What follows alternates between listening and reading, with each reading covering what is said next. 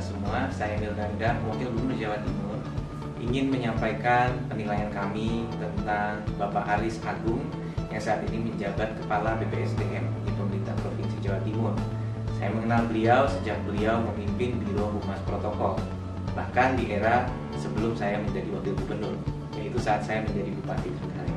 Kesan yang kami rasakan sebagai pihak eksternal saat itu adalah profesionalisme yang sangat.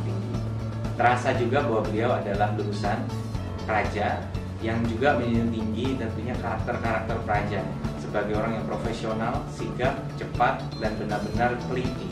Dan ke karakter inilah yang menjadi aset yang tidak tergantikan dari beliau dalam memimpin humas protokol.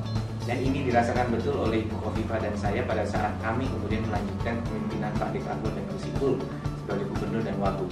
Maka kami benar-benar merasakan tentunya profesionalisme dan dedikasi dari, dari Pak Aris Agung ini dan kemudian beliau mendapatkan amanah memimpin BPSDM di mana saya juga merasakan inovasi-inovasi yang benar-benar didorong oleh beliau dalam menjadikan BPSDM sebagai corporate university, menjalin kerjasama dengan berbagai stakeholders, dan menjadikan BPSDM sebagai service excellence oriented institution yang memberikan menyelenggarakan pengembangan SDM bukan hanya bagi ASN internal Pemprov, tetapi juga ASN dari pemerintah Kabupaten Kota Jawa Timur, bahkan instansi-instansi lain, instansi vertikal dan pemerintah daerah di luar Jawa Timur.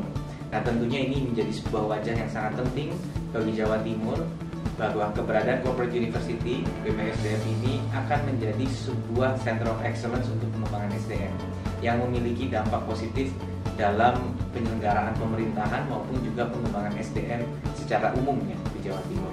Oleh karena itu mengetahui bahwa beliau juga menjadi salah satu yang dipertimbangkan untuk anugerah ASN tentunya kami sangat merekomendasikan bahwa Pak Haris Agung ini adalah sosok yang kompeten tetapi juga berdedikasi tinggi dan memiliki peluang untuk terus berkembang ke depannya.